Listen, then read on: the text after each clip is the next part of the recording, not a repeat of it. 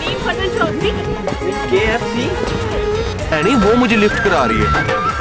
वैसे आप जिस काम के लिए भी आए हो पाकिस्तान याद तो आता होगा।